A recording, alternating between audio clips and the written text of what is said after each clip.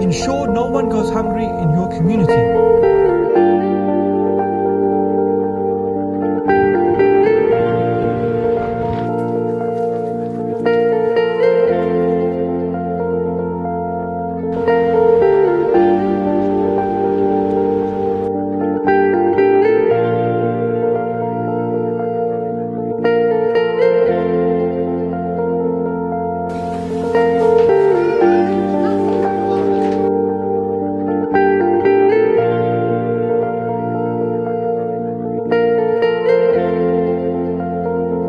سلام عليكم.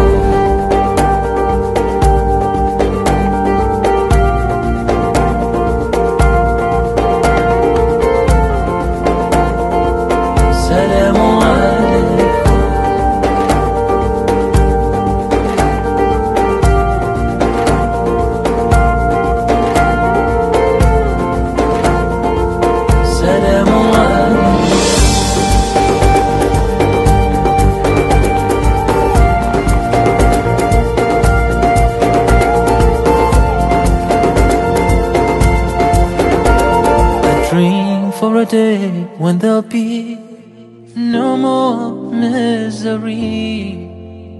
There's no more hunger, no need for shelter. Isn't there enough to share? Or is it that we just don't care? We're here for a day or two.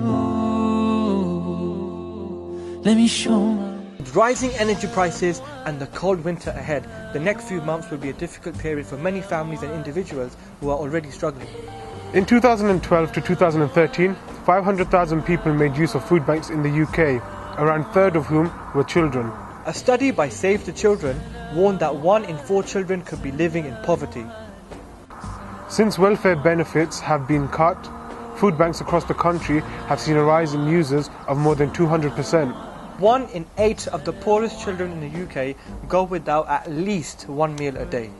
NetMums found that one in every five mums regularly skip meals to feed their children. From the 14th to 20th December, Inspire FM, working with Luton Food Bank, will be collecting food items to pack and distribute to those people who don't have enough to eat. Tune in daily from 6 pm and listen to our special Surviving Winter broadcast to learn about the crisis in our community. Ensure no one goes hungry in your community. Buy a little extra and pack a food parcel for those in need.